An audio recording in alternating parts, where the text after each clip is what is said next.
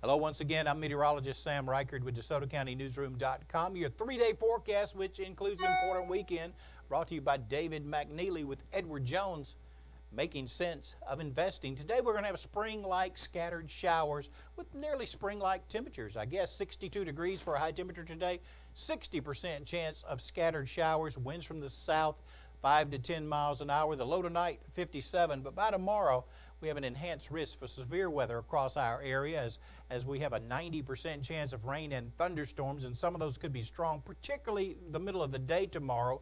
Windy tomorrow, too. Winds from the southwest 10 to 20 miles an hour, maybe gusting to 30 or so at times. High temperature 72, low 46, and then sunny on Sunday, high temperature 62 degrees. I'm Sam Rikard.